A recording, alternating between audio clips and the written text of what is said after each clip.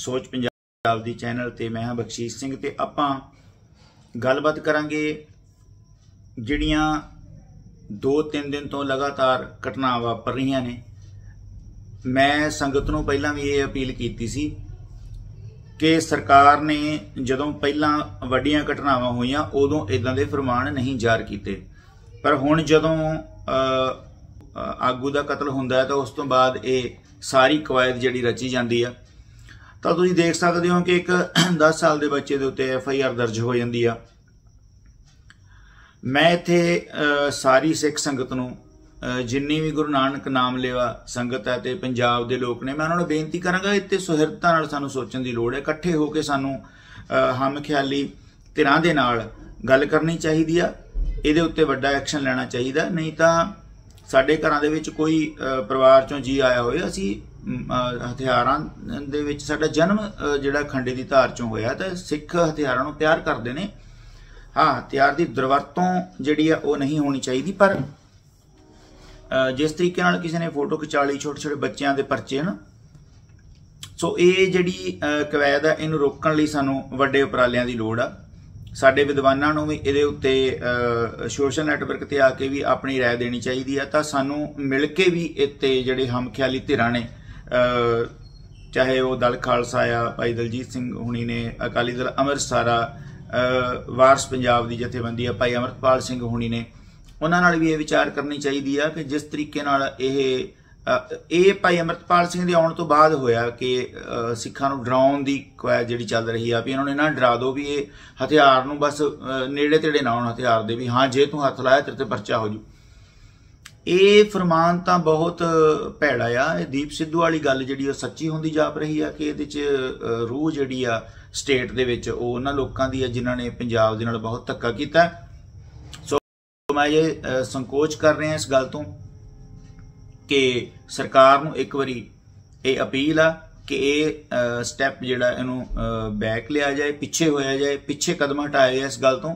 ਜਾਂ ਐਵੇਂ ਆ ਕਿ ਤੁਹਾਡੇ ਨਿਰਦੇਸ਼ ਜਿਹੜੇ ਨੇ ਉਹ ਹੋਰ ਨੇ ਤੇ ਅੱਗੇ ਬਿਊਰੋਕ੍ਰੇਸੀ ਜਿਹੜੀ ਆ ਜਾਂ ਥਰੜੀਆਂ ਜਿਹੜੀਆਂ ਤੁਹਾਡੀਆਂ ਏਜੰਸੀਆਂ ਨੇ ਜਾਂ ਫੋਰਸਾਂ ਜਿਹੜੀਆਂ ਕੰਮ ਕਰਦੀਆਂ ਨੇ ਉਹ ਲੋਕਾਂ ਨਾਲ ਧੱਕਾ ਕਰ ਰਹੀਆਂ ਨੇ ਕਿਤੇ ਨਾ ਕਿਤੇ ਕੋਈ ਗੈਪ ਜ਼ਰੂਰ ਆ।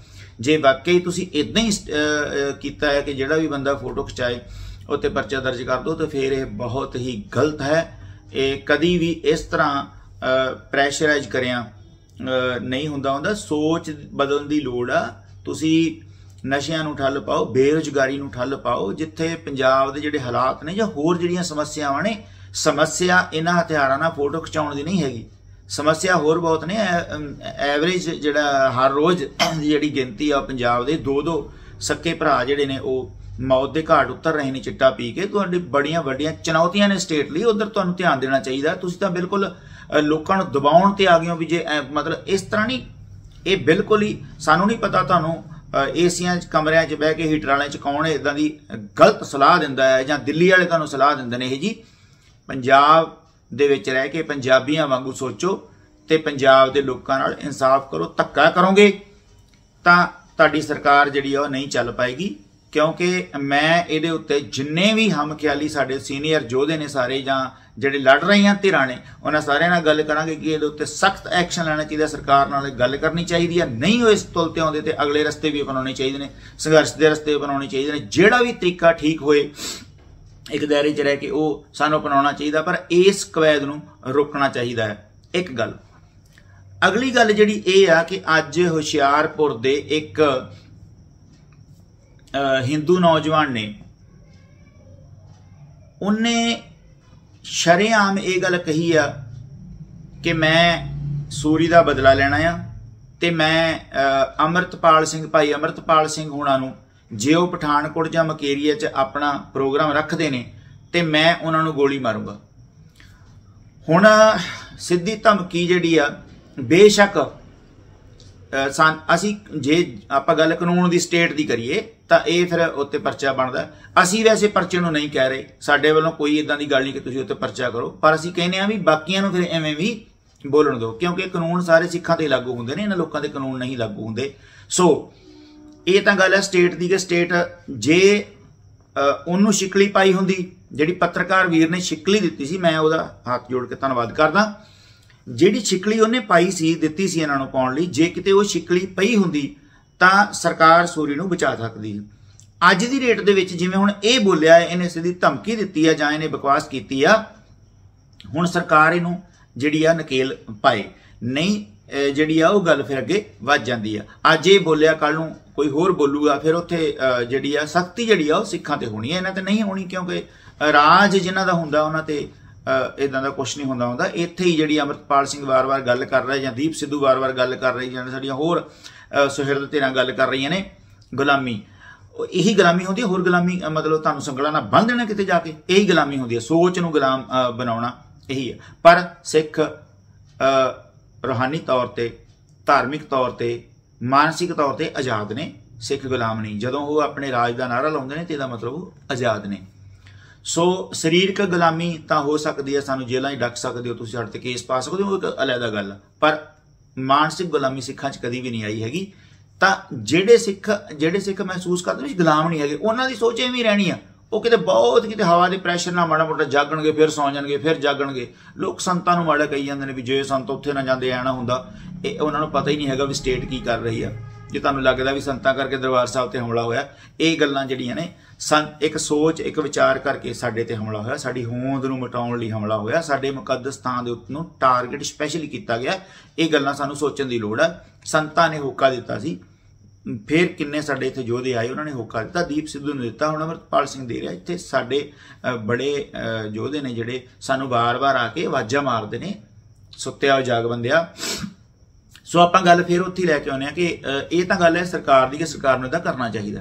ਹੁਣ ਭਾਈ ਮੇਰੇ ਵੱਲੋਂ ਸਪੈਸ਼ਲੀ ਇਹ ਜਿਹੜਾ ਹਿੰਦੂ ਨੌਜਵਾਨ ਆ ਜਿਨੇ ਇਹ ਗੱਲ ਕਹੀ ਆ ਕਿ ਹੋ ਸਕਦਾ ਕਿਸੇ ਹੋਰ ਧਰਮ ਨਾਲ ਰਿਲੇਟਡ ਹੋਈ ਪਰ ਉਹਦੀ ਦਿੱਖ ਜਿਹੜੀ ਆ ਉਹ ਇਦਾਂ ਦੀ ਹੈ ਜਿਵੇਂ ਉਹਨੇ ਕਿਹਾ ਕਿ ਅਸੀਂ ਮਤਲਬ ਉਹਨਾਂ ਦਾ ਬਦਲਾ ਲਵਾਂਗੇ। ਸੋ ਵੀਰ ਮੇਰੇ ਆ ਗੱਲ ਇਹ ਆ ਕਿ ਤੁਸੀਂ ਵੀ ਟਾਈਮ ਰੱਖ ਲਓ ਅੰਮ੍ਰਿਤਪਾਲ ਸਿੰਘ ਦਾ ਤੇ ਮੈਂ ਲੈ ਕੇ ਆਉਂਗਾ ਅੰਮ੍ਰਿਤਪਾਲ ਸਿੰਘ ਨੂੰ। ਹੁਣ ਆਪਣੀ ਗੱਲ ਤੇ ਰਹੋ। ਜੇ ਵਾਕਈ ਆਪਣੇ ਪਿਓ ਦਾ ਤਾਂ ਗੋਲੀ ਮਾਰੀ ਜ਼ਰੂਰ। ਠੀਕ ਹੈ ਜੀ? ਅਮਰਤਪਾਲ ਸਿੰਘ ਤੱਕ ਤੇਰੀ ਗੋਲੀ ਨਹੀਂ ਜਾਣੀ ਹੈਗੀ।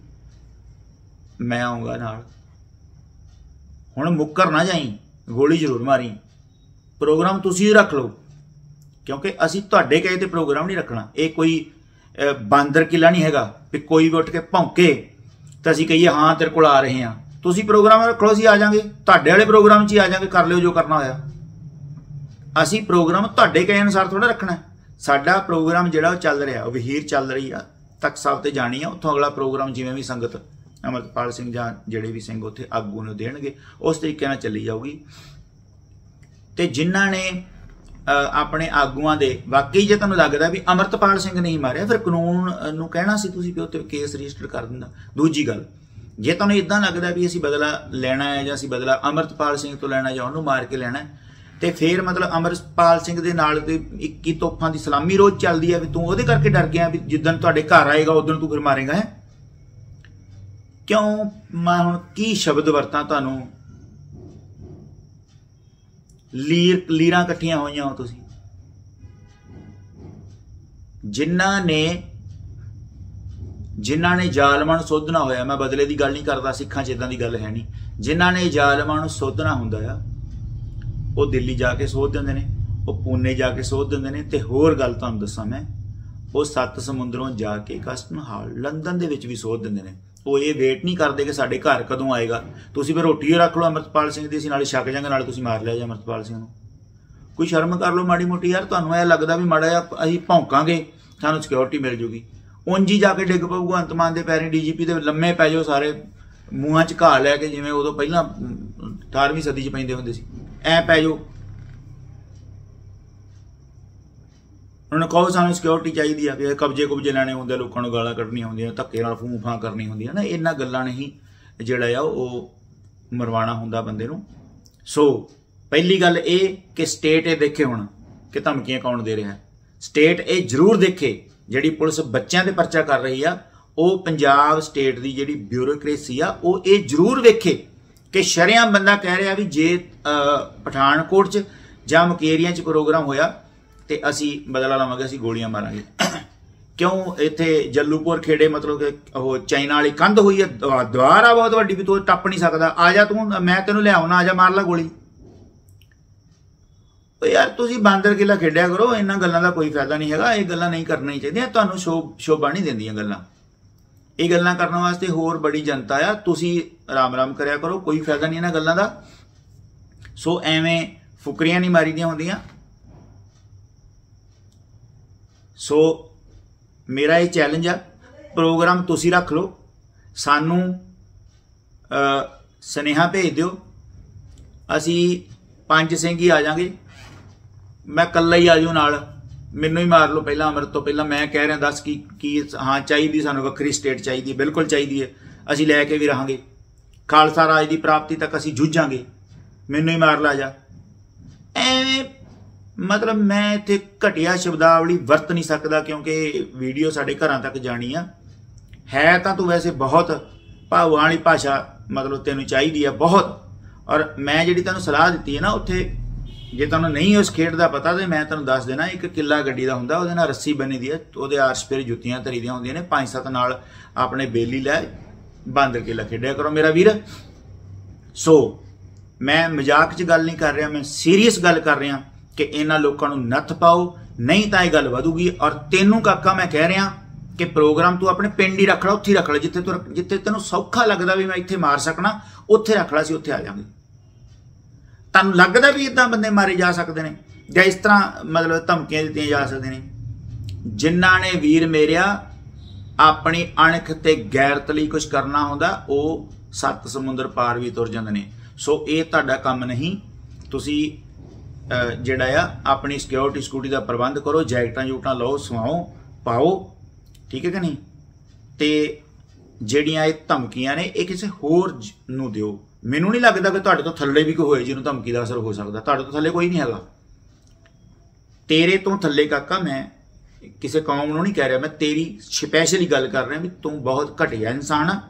ਕਿਉਂਕਿ ਘਟੀਆ ਇਨਸਾਨ ਜਿਹੜੇ ਨੇ, ਉਹ ਭਾਈਚਾਰਕ ਜਿਹੜਾ ਸਿਸਟਮ ਹੁੰਦਾ, ਉਹਨੂੰ ਤੋੜਨ ਦੇ ਵਿੱਚ ਮੋਹਰੀ ਰੋਲ ਅਦਾ ਕਰਦੇ ਨੇ।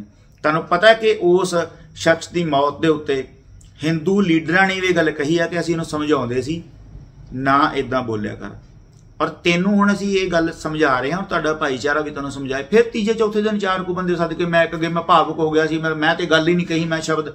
ਫਿਰ ਇਦਾਂ ਕਰਨ ਲੱਗ ਜਾਂਦੇ। ਤੁਹਾਡੇ ਕਿੰਨੇ ਬੰਦਿਆਂ ਨੇ? ਇੱਕ ਉਹ ਸੀਗਾ, ਘਰਾਂ ਚੋਂ ਕੱਢ ਕੱਢ ਕੇ ਮਾਰਾਂਗੇ ਸਿੱਖਾਂ ਨੂੰ। ਕਿੱਥੇ ਗਿਆ ਆ? ਸਿੱਖ ਪਹਿਲੀ, ਤੁਹਾਨੂੰ ਮੈਂ ਗੱਲ ਦੱਸਦਾ ਕਿ ਸਿੱਖ ਜਿਹੜੇ ਨੇ, ਉਹ ਖੰਡੇ ਦੀ ਧਾਰ ਚੋਂ ਪੈਦਾ ਹੋਏ ਨੇ। ਗੁਰਬਾਣੀ, ਅਕਾਲੀ ਬਾਣੀ ਪੜ੍ਹ ਕੇ ਉਹਨਾਂ ਦਾ ਜਿਹੜਾ ਖਾਲਸਾ ਪ੍ਰਗਟ ਹੋਇਆ। ਤੇ ਇਹਦੀ ਮੌਤ ਹੀ ਨਹੀਂ ਹੋਣੀ। ਪਹਿਲਾਂ ਤੇ ਸਾਡਾ ਇਤਿਹਾਸ ਜਿਹੜਾ ਉਹ ਤੁਹਾਨੂੰ ਪੜ੍ਹਨਾ ਚਾਹੀਦਾ ਹੈ ਕਿ ਇਹ ਮਰਨ ਵਾਲੀ ਕੌਮ ਨਹੀਂ ਹੈ। ਗੁਰੂ ਸਾਹਿਬਾਨ ਨੇ ਸਾਦਾ ਨੂੰ ਜਰਨੈਲ ਤੇ ਜਰਨੈਲਾਂ ਨੂੰ ਸਾਧ, ਇਹ ਹਿਸਟਰੀ ਆ ਸਿੱਖ ਪੰਥ ਦੀ। ਬੰਦਾ ਸਿੰਘ ਬਹਾਦਰ ਵਰਗੇ ਬੈਰਾਗੀ ਸਾਧ ਨੂੰ ਜਾ ਕੇ ਮੁਗਲਾਂ ਦੇ ਕਿਲੇ ਢਾਉਣ ਨੂੰ ਅਸ਼ੀਰਵਾਦ ਦਿੱਤਾ, ਪੰਜ ਤੀਰ ਦਿੱਤੇ ਤੇ ਸਰਹੰਦ ਫਤਿਹ ਕੀਤੀ ਤੇ ਖਾਲਸਾ ਰਾਜ ਸਥਾਪਿਤ ਕੀਤਾ। ਹਿਸਟਰੀ ਪੜੋ ਜੇ ਨਹੀਂ ਪੜ੍ਹਨੀ ਆਉਂਦੀ ਤਾਂ ਸਾਡੇ ਤੋਂ ਆ ਕੇ ਸੁਣੋ। ਆਪਣੇ ਬਜ਼ੁਰਗਾਂ ਤੋਂ ਪੁੱਛੋ। ਸੋ ਮੈਂ ਫੇਰ ਕਹਿ ਰਿਹਾ ਕਿ ਸਵੇਰੇ ਉੱਠ। ਆਪਣੇ ਬਾਹਰ ਜਿੱਥੇ ਵੀ ਸਮਾਂ ਮਿਲਦਾ, ਕੋਈ ਵੇਖ ਲੈ, ਉੱਥੇ ਬਾਂਦਰ ਕਿਲਾ ਖੇਡਿਆ ਕਰੋ। ਇਹ ਤੁਹਾਡੇ ਵੱਸ ਦੀ ਗੱਲ ਨਹੀਂ ਹੈਗੀ। ਰਹੀ ਗੱਲ ਵੀ ਤੂੰ ਸਾਡੇ ਪਿੰਡ ਆਈ, ਫਿਰ ਤੈਨੂੰ ਮਾਰਾਂਗੇ। ਤੂੰ ਆਪਣੇ ਪਿੰਡ ਪ੍ਰੋਗਰਾਮ ਰੱਖੀ ਪ੍ਰੋਗਰਾਮ ਹੁਣ, ਮੁੱਕਰੀ ਨਾ। ਅਸੀਂ ਆਵਾਂਗੇ ਤੇਰੇ ਕੋਲ। ਪ੍ਰੋਗਰਾਮ ਰੱਖ ਲੈ, ਉੱਥੇ ਆਵਾਂਗੇ। ਤੇ ਤੂੰ ਗੋਲੀ ਸਾਨੂੰ ਮਾਰਨੀ ਆ, ਠੀਕ ਆ? ਸੋ ਪਹਿਲੀ ਗੱਲ ਜਿਹੜੀ ਆ ਉਹ ਸਰਕਾਰ ਦੀ ਆ ਕਿ ਸਰਕਾਰ ਸਾਡਾ ਵੈਸੇ ਇਹ ਤੇ ਕੋਈ ਰੋਸ ਨਹੀਂ ਹੈਗਾ, ਕਿਉਂਕਿ ਸਾਨੂੰ ਪਤਾ ਹੈ ਜਦੋਂ ਅਸੀਂ ਬੋਲਣਾ, ਫਿਰ ਸਾਡੇ ਤੇ ਪਰਚਾ ਹੋਣਾ, ਇਹਨਾਂ ਤੇ ਤੇ ਹੋਣਾ ਹੀ ਨਹੀਂ। ਜੇ ਇਹਨਾਂ ਦੇ ਹੁੰਦਾ ਹੁੰਦਾ ਤੇ ਮੰਡ ਤੇ ਹੁੰਦਾ, ਇਹਨਾਂ ਦੇ ਹੁੰਦਾ ਤੇ ਉਹ ਜਿਹੜਾ ਉਹ ਬਿਲਕੁਲ ਹੀ ਜਿਹੜਾ ਸਭਾ ਚੱਟਾ ਉੱਤੇ ਹੁੰਦਾ। ਹੋਰ ਕਿੰਨੇ ਨੇ ਜਿਹੜੇ ਉੱਪਰ ਉੱਪਰ ਕੇ ਪੈਂਦੇ ਨੇ, ਮਾਰ ਦਾਂਗੇ, ਮਸਲ ਦਾਂਗੇ, ਉਹਨਾਂ ਦੇ ਕਦੀ ਕੋਈ ਪਰਚਾ ਹੋਇਆ? ਫਿਰ ਪਰਚੇ ਕਿਹਨਾਂ ਦੇ ਹੋਣੇ ਨੇ? 10 ਸਾਲ ਦੇ ਬੱਚੇ ਤੇ ਪਰਚਾ ਤੇ 6 ਸਾਲ ਪਹਿਲਾਂ ਦੀ ਉਹ ਤਸਵੀਰ ਆ 4-5 ਸਾਲ ਦਾ ਸੀਗਾ ਉਹ। ਇੰਨੀ ਘਟਿਆ, ਇੰਨਾ ਘਟਿਆਪਣ ਪੰਜਾਬ ਦੀ ਧਰਤੀ ਤੇ, ਮੇਰੇ ਖਿਆਲ 'ਚ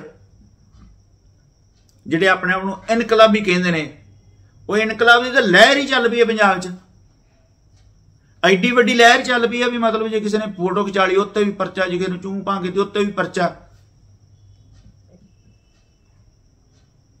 ਸੋ, ਜਿਹੜਾ ਇਹ ਸਟੈਪ ਚੁੱਕ ਰਹੇ ਨੇ, ਜਿਹੜਾ ਇਹ ਇਹ ਲੋਕਾਂ ਦੇ ਪਰਚੇ ਕਰ ਰਹੇ ਨੇ, ਇਹਦੇ ਸਬੰਧ ਦੇ ਵਿੱਚ ਮੈਂ ਪਹਿਲਾਂ ਵੀ ਬੇਨਤੀ ਕੀਤੀ, ਫੇਰ ਕਰਨਾ ਕਿ ਅਸੀਂ ਹਮਖਿਆਲੀ ਸਾਰੇ ਸਿੰਘਾਂ ਨਾਲ ਗੱਲ ਕਰਕੇ ਇੱਥੇ ਸਖਤ ਐਕਸ਼ਨ ਦੀ ਲੋੜ ਆ ਔਰ ਵਿਦਵਾਨਾਂ ਨੂੰ ਵੀ ਜ਼ਰੂਰਤ ਆ ਕਿ ਉਹ ਇੱਥੇ ਆਪਣਾ ਪ੍ਰਤੀਕਰਮ ਜ਼ਰੂਰ ਦੇਣ ਕਿ ਇਹ ਬਹੁਤ ਘਟੀਆ ਸੋਚ ਆ ਤੇ ਬਹੁਤ ਘਟੀਆ ਹੀ ਆਈਡੀਆ ਆ ਤੇ ਸਾਨੂੰ ਨਹੀਂ ਪਤਾ ਕਿੰਨੇ ਦਿੱਤਾ ਆ। ਔਰ ਅਸਲਿਆਂ ਦੀ ਛਾਣਬੀਣ ਦੀ ਆੜ ਦੇ ਵਿੱਚ ਪੰਜਾਬ ਨੂੰ ਨਿਹੱਥਾ ਕੀਤਾ ਜਾ ਰਿਹਾ ਆ, ਜਿਹੜੀ ਬਹੁਤ ਖਤਰਨਾਕ ਗੱਲ ਆ। ਮੈਂ ਜਥੇਦਾਰ ਸਾਹਿਬ ਨੂੰ ਵੀ ਹੁਣ ਅਪੀਲ ਕਰਾਂਗਾ ਕਿ ਹੁਣ ਇਹਦੇ ਉੱਤੇ ਪ੍ਰਤੀਕਰਮ ਦੇਣ ਕਿ ਅਸੀਂ ਤੇ ਕਿਹਾ ਸੀ ਕਿ ਸਿੱਖ ਲਾਇਸੈਂਸ ਬਣਾਉਣ ਤੇ ਜਿਹੜੇ ਸਿੱਖਾਂ ਦੇ ਕੋਲ ਨੇ ਸਰਕਾਰ ਉਹ ਵੀ ਖੋ ਰਹੀ ਹੈ ਤੇ ਸਖਤ ਸਟੈਂਡ ਲੈਣ ਦੀ ਲੋੜ ਆ। ਸੋ ਅਗਲੀਆਂ ਘਟਨਾਵਾਂ ਤੇ ਫਿਰ ਤੁਹਾਡੇ ਨਾਲ ਹਾਜ਼ਰ ਹੋਵਾਂਗੇ। ਆਪਾਂ ਆਪਣੀ ਗੱਲ ਕਰਦੇ ਰਹਿਣਾ ਆ।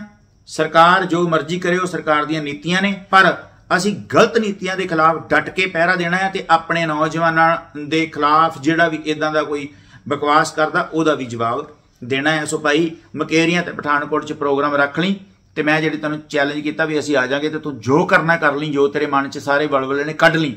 ਵਾਹਿਗੁਰੂ ਜੀ ਕਾ ਖਾਲਸਾ, ਵਾਹਿਗੁਰੂ ਜੀ ਕੀ ਫਤਿਹ ਜੀ। ਵਾਹਿਗੁਰੂ ਜੀ ਕਾ ਖਾਲਸਾ, ਵਾਹਿਗੁਰੂ ਜੀ ਕੀ ਫਤਿਹ।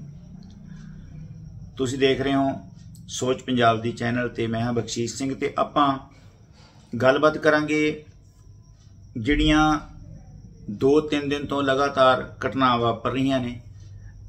ਮੈਂ ਸੰਗਤ ਨੂੰ ਪਹਿਲਾਂ ਵੀ ਇਹ ਅਪੀਲ ਕੀਤੀ ਸੀ ਕਿ ਸਰਕਾਰ ਨੇ ਜਦੋਂ ਪਹਿਲਾਂ ਵੱਡੀਆਂ ਘਟਨਾਵਾਂ ਹੋਈਆਂ, ਉਦੋਂ ਇਦਾਂ ਦੇ ਫਰਮਾਨ ਨਹੀਂ ਜਾਰੀ ਕੀਤੇ।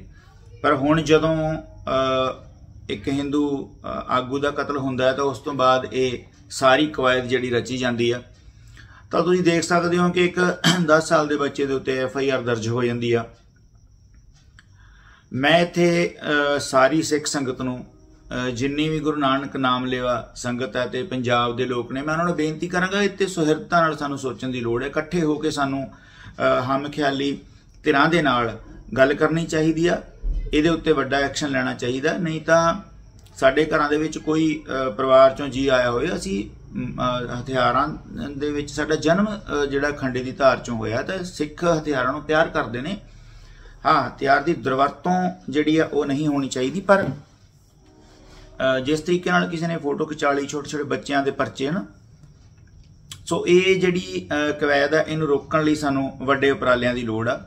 ਸਾਡੇ ਵਿਦਵਾਨਾਂ ਨੂੰ ਵੀ ਇਹਦੇ ਉੱਤੇ ਸੋਸ਼ਲ ਨੈਟਵਰਕ ਤੇ ਆ ਕੇ ਵੀ ਆਪਣੀ رائے ਦੇਣੀ ਚਾਹੀਦੀ ਆ ਤਾਂ ਸਾਨੂੰ ਮਿਲ ਕੇ ਵੀ ਇੱਥੇ ਜਿਹੜੇ ਹਮਖਿਆਲੀ ਧਿਰਾਂ ਨੇ ਚਾਹੇ ਉਹ ਦਲ ਖਾਲਸਾ ਆ ਭਾਈ ਦਲਜੀਤ ਸਿੰਘ ਹੁਣੀ ਨੇ ਅਕਾਲੀ ਦਲ ਅੰਮ੍ਰਿਤਸਰਾ ਵਾਰਸ ਪੰਜਾਬ ਦੀ ਜਥੇਬੰਦੀ ਆ ਭਾਈ ਅਮਰਪਾਲ ਸਿੰਘ ਹੁਣੀ ਨੇ ਉਹਨਾਂ ਨਾਲ ਵੀ ਇਹ ਵਿਚਾਰ ਕਰਨੀ ਚਾਹੀਦੀ ਆ ਕਿ ਜਿਸ ਤਰੀਕੇ ਨਾਲ ਇਹ ਇਹ ਭਾਈ ਅਮਰਪਾਲ ਸਿੰਘ ਦੇ ਆਉਣ ਤੋਂ ਬਾਅਦ ਹੋਇਆ ਕਿ ਸਿੱਖਾਂ ਨੂੰ ਡਰਾਉਣ ਦੀ ਕੁਐ ਜਿਹੜੀ ਚੱਲ ਰਹੀ ਆ ਵੀ ਇਹਨਾਂ ਨੂੰ ਇਹਨਾਂ ਡਰਾ ਦਿਓ ਵੀ ਇਹ ਹਥਿਆਰ ਨੂੰ ਬਸ ਨੇੜੇ ਤੇੜੇ ਨਾ ਆਉਣ ਹਥਿਆਰ ਦੇ ਵੀ ਹਾਂ, ਜੇ ਤੂੰ ਹੱਥ ਲਾਇਆ ਤੇਰੇ ਤੇ ਪਰਚਾ ਹੋ ਜੂ।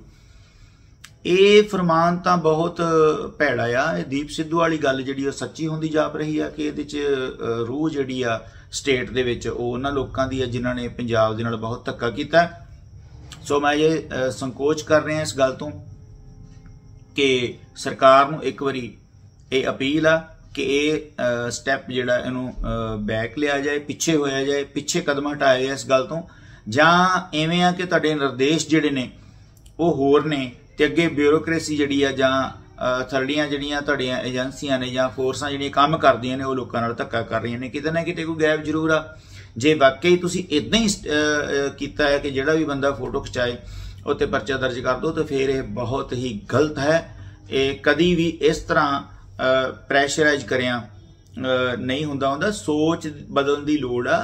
ਤੁਸੀਂ ਨਸ਼ਿਆਂ ਨੂੰ ਠੱਲ ਪਾਓ, ਬੇਰੋਜ਼ਗਾਰੀ ਨੂੰ ਠੱਲ ਪਾਓ, ਜਿੱਥੇ ਪੰਜਾਬ ਦੇ ਜਿਹੜੇ ਹਾਲਾਤ ਨੇ ਜਾਂ ਹੋਰ ਜਿਹੜੀਆਂ ਸਮੱਸਿਆਵਾਂ ਨੇ, ਸਮੱਸਿਆ ਇਹਨਾਂ ਹਥਿਆਰਾਂ ਨਾਲ ਫੋਟੋ ਖਿਚਾਉਣ ਦੀ ਨਹੀਂ ਹੈਗੀ। ਸਮੱਸਿਆ ਹੋਰ ਬਹੁਤ ਨੇ। ਐਵਰੇਜ ਜਿਹੜਾ ਹਰ ਰੋਜ਼ ਦੀ ਜਿਹੜੀ ਗਿਣਤੀ ਆ ਪੰਜਾਬ ਦੇ ਦੋ ਦੋ ਸੱਕੇ ਭਰਾ ਜਿਹੜੇ ਨੇ ਉਹ ਮੌਤ ਦੇ ਘਾਟ ਉਤਰ ਰਹੇ ਨੇ ਚਿੱਟਾ ਪੀ ਕੇ। ਤੁਹਾਡੀ ਬੜੀਆਂ ਵੱਡੀਆਂ ਚੁਣੌਤੀਆਂ ਨੇ ਸਟੇਟ ਲਈ। ਉਧਰ ਤੁਹਾਨੂੰ ਧਿਆਨ ਦੇਣਾ ਚਾਹੀਦਾ। ਤੁਸੀਂ ਤਾਂ ਬਿਲਕੁਲ ਲੋਕਾਂ ਨੂੰ ਦਬਾਉਣ ਤੇ ਆ ਗਏ ਹੋ ਵੀ ਜੇ ਮਤਲਬ ਇਸ ਤਰ੍ਹਾਂ ਨਹੀਂ, ਇਹ ਬਿਲਕੁਲ ਹੀ ਸਾਨੂੰ ਨਹੀਂ ਪਤਾ ਤੁਹਾਨੂੰ ਏਸੀਆਂ 'ਚ, ਕਮਰਿਆਂ 'ਚ ਬਹਿ ਕੇ, ਹੀਟਰ ਵਾਲਿਆਂ 'ਚ ਕੌਣ ਇਦਾਂ ਦੀ ਗਲਤ ਸਲਾਹ ਦਿੰਦਾ ਹੈ ਜਾਂ ਦਿੱਲੀ ਵਾਲੇ ਤੁਹਾਨੂੰ ਸਲਾਹ ਦਿੰਦੇ ਨੇ ਇਹ ਜੀ।